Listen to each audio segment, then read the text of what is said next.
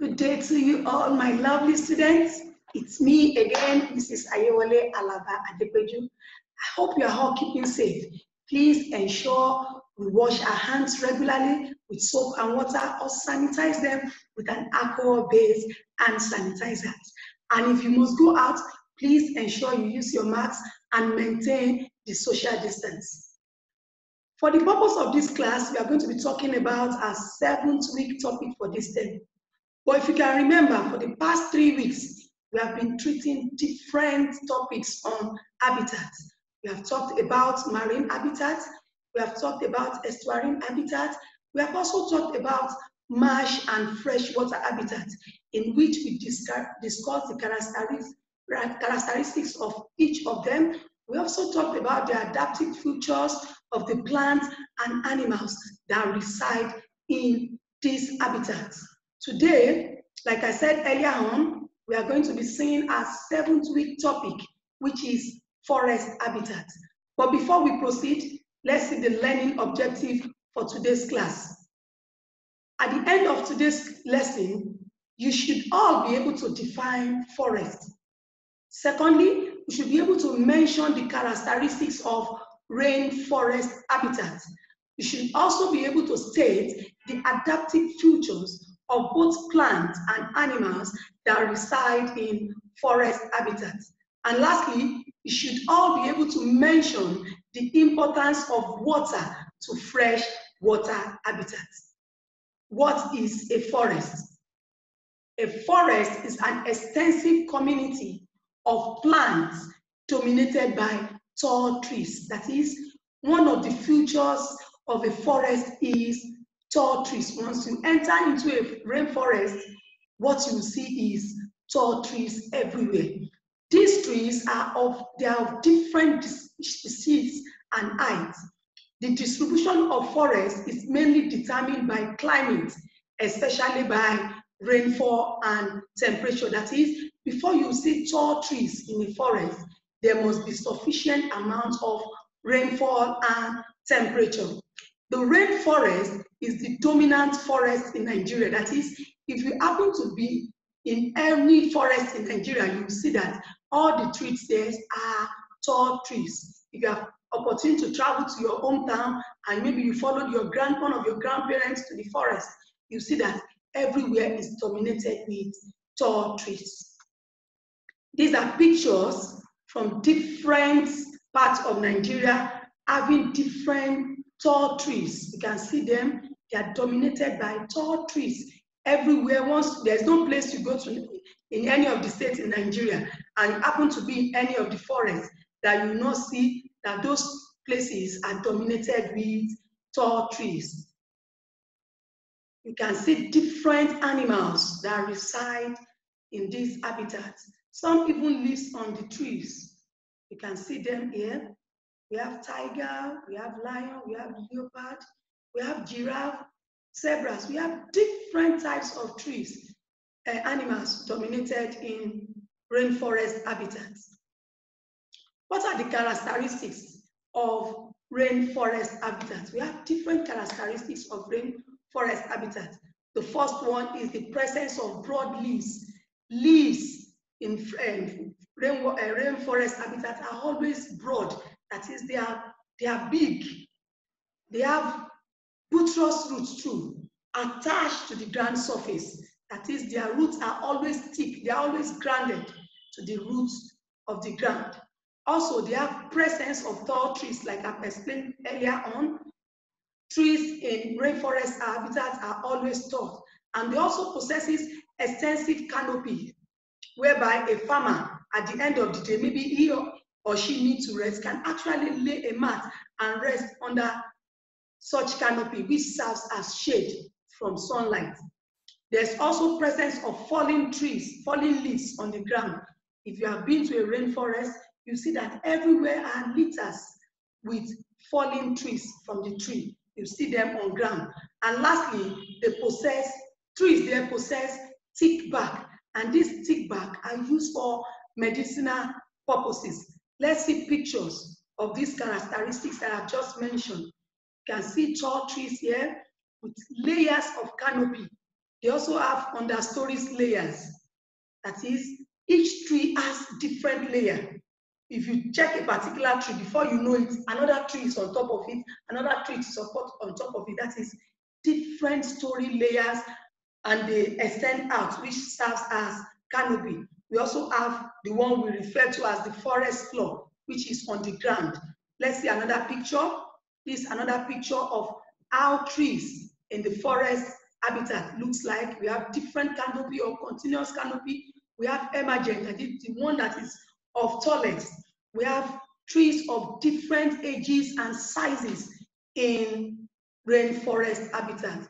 We can be as tall as 50 meters tall in rainforest habitats. Let's continue. Let's discuss about the distribution and adaptive features of plants in rainforest habitats. Like we all know, we have different plants in forest habitats. Varieties of plants exist in forest habitats, and they include African walnut. African walnut has broad leaf for transpiration and photosynthetic activities. That is, they were able, they will be able to manufacture their own food. We have obeche plants too. Obeche plant possesses taproot system with large bulbous roots, which helps to support and broad leaves for photosynthetic activities. That is, the broad roots are rooted to the ground that helps them to carry weight or whatever animals that lives on that plant. We also have Iroko and mahogany tree. They have strong taproot system too, and they also have buttress roots, which aid and support the weight of plants, like I've mentioned earlier.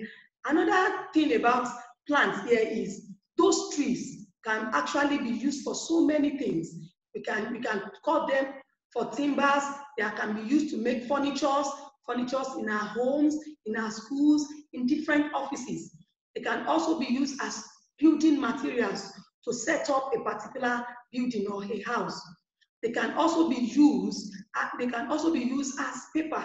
They can actually reproduce them into papers after undergoing series of reproduction.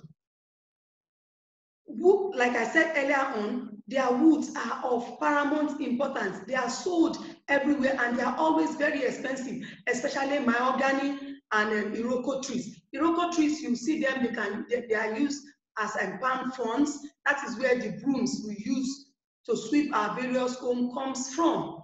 Their leaves also can be used to build houses. They use them as tents. If you have been to village, you see the benefit of these plants that I've just mentioned.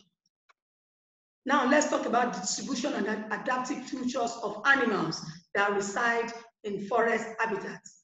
Most animal in forest habitats lives on the tree, and they include bats, monkey, squirrel, and many other types of animal. Animal like earthworm lives in the soil surface, while some live among litters found on the ground, that is, the leaves that falls on the tree. There are animals that lives in between them. Examples of such organisms is a millipede. You can also see ants and snails too they reside under the litters of those fallen trees that are on the ground. Birds also have powerful wings, which helps them to fly high in the atmosphere. Like I said earlier on, snails and earthworm also have water permeable cuticle, which reduce water loss and prevent them from drying up or dying. But has the ability of making it fall and leap in when joined together to fly high in the sky. Let's move on.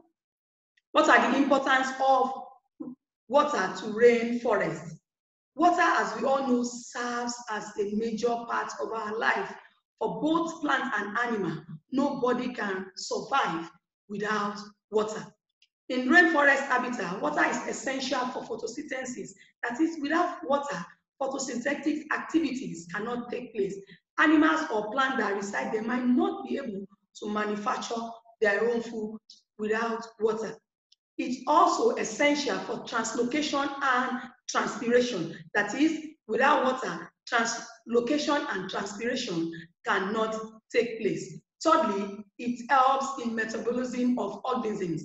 Like I said earlier on, no organism can survive without water. Organisms such as earthworm will not be able to survive in a dry environment once there's no water or there's no enough rainfall. They will die because they need the atmosphere to be moisture so they can burrow in into the soil surface. And lastly, water is essential for movement and survival of aquatic organisms. No organism can survive without water. Either plant or animal cannot survive without water. Let's go on to the last part. The last part of the topic for today are the factors that actually affect rainforest. And in rainforest, the major factors that affect them are the biotic factors, which is referred to as living components that actually affect organisms that stays there or the shape of the community they reside. These factors include climate, the soil type, precipitation, temperature, and sunlight. Without these factors, nothing can actually take place in rainforest habitats. Forests or trees will not be able to grow without sunlight, without temperature, no growth can take place because all these are actually needed for their photosynthetic activities to grow, to take place. That is why you see that mostly in rainforest habitat, they have tall trees because of these factors that are in place. If any of these factors is not available, then the, the, the activities that takes place in rainforest habitat will be, will be put to a hold or stop, thereby leading to loss of plants and that reside in such habitats. With this, we have come to the end of today's topic, which is rainforest habitat. For, an, for a comprehensive note on this note, please kindly visit the school website where you download a note. And after writing this lesson notes, please ensure you attempt the assignment that, follow, that follows. You can actually read more on this topic from our recommended textbook, Excellence in Biology for Senior Secondary School, Book 2 by F. Fakeye, and also Essential Biology for Senior Secondary School. Thank you and God bless. I'll see you in our next class. Stay safe